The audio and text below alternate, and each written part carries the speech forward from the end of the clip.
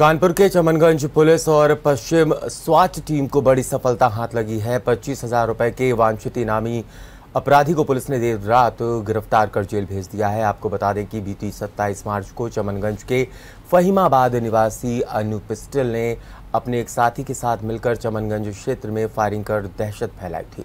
अपराधी अनु पिस्टल के खिलाफ चमनगंज थाने और बेकनगंज थाने में आधा दर्जन से ज़्यादा आपराधिक मुकदमे दर्ज हैं।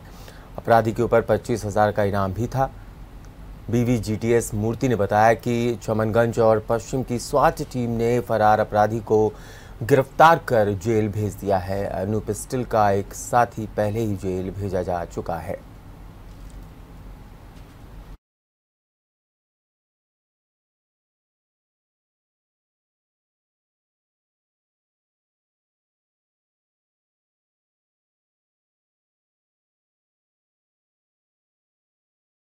कल रात सवा ग्यारह बजे थाना चमनगंज क्षेत्र के अंतर्गत चंद्रिका देवी मंदिर के यहाँ हमारे स्वाट टीम जोन पश्चिम के स्वाट टीम और चमनगंज के थाना टीम को बड़ी बहुत बड़ी सफलता मिली है।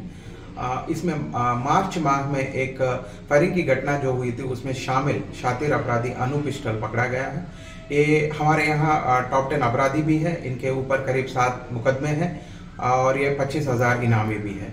इस पे हमने ये घटना होने के बाद इस पे हमने एक विशेष टीम गठित की थी, उसी टीम का ये सफलता। पसंद आया हो तो हमें लाइक करें सब्सक्राइब करें और ज़्यादा से ज़्यादा शेयर करें। और हाँ बेल आइकॉन दबाना ना भूलें ताकि हर खबर का अपडेट आप तक पहुँचे तुरंत। आप हमें इंस्टा ट्विटर और फेसबुक पर भी फॉलो कर सकते हैं। हमारी आईडी है at the rate J M D news